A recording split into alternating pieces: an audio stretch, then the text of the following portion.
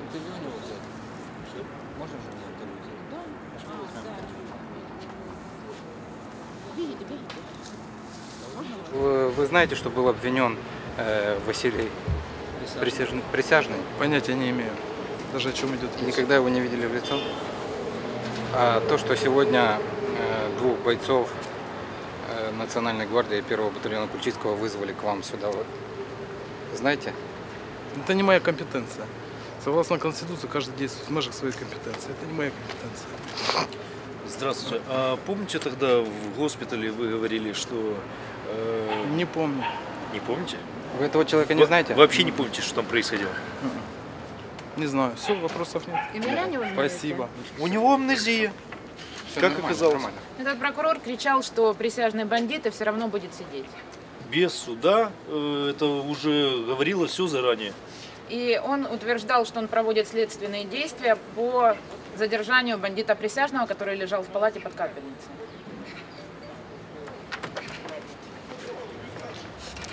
Двадцать 29.10.2015 года, 14.00, э, мы вышли из здания прокуратуры военной в городе Краматорске, общались со следователем. Он обещал вручить нам сегодня педозру, но так этого и не сделал.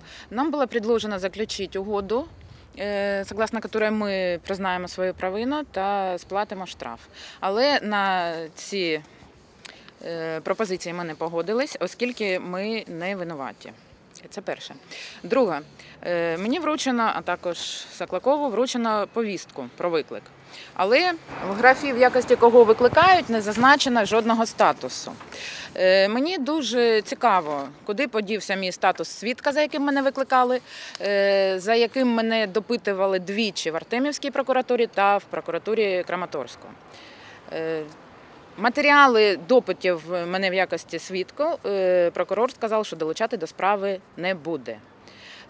Наскільки я розумію, там були грубі порушення, оскільки нас допитували е, ті особи, е, працівники прокуратури, які намагаються в даний час е, набути статусу потерпілого.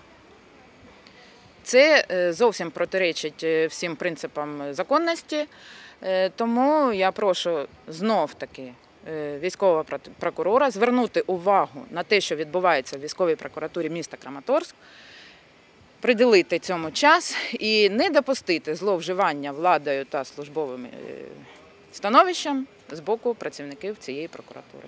Сейчас э, эти сотрудники э, поменялись. Не те, которые допрош- допрашивали нас в прошлый раз. Те, которые нарушали закон в больнице, в кардиологии, когда присяжного пытались из-под капельницы увести. Э, Ну, сейчас м, пока в таком положении. Посмотрим. Сейчас мы пустое место. Как в графе. Мы не обвиняемые, не, не свидетели, никто. Мы не совершали противоправных действий, которые нам пытаются вменить.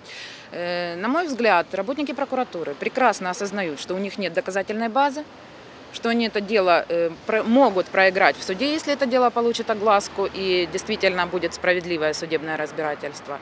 Э, Таким образом, они пытаются уговорить нас, как-то смягчить их э, виновность, чтобы скрыть свои преступные деяния. Чтобы скрыть свою вину, они решили повесить на нас вину. Вот сейчас им это нужно сделать. И нужно как-то довести, потому что остановиться они уже не могут. Мое предложение работникам прокуратуры все-таки принять благоразумное решение, закрыть э, криминальное провадження за пунктом 2 статті 6 за відсутністю ознак е, складу злочину і отримати догану, це буде краще, ніж вони потім будуть е, нести кримінальну відповідальність е, за порушення кримінальної справи безпідставно, за е, дачу Перевищення ложних е, повноважень. свідчень и перевещение полноважий. Сейчас пока они еще не понимают, э, они знают, что у нас есть тоже свидетели, которые могут э, подтвердить нашу невиновность. Э, Они просто еще не общались с этими свидетелями. Пока они еще гнут свою линию по привычке еще тех времен, еще той системы. Они еще никак не перестроились. Они думают, что сейчас еще 2013 год, еще Янукович при власти, еще Майдана не было. Они так еще и живут. Ничего не изменилось для них.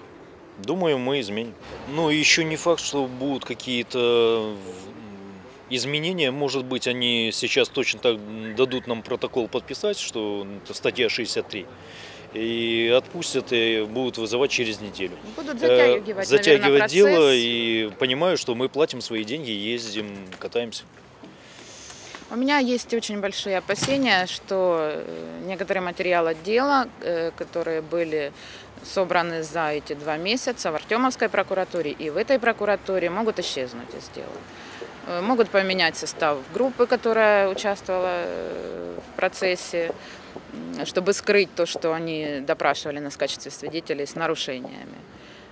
Я не исключаю этот вариант, что могут быть такие попытки. У нас есть свидетели, которые были там.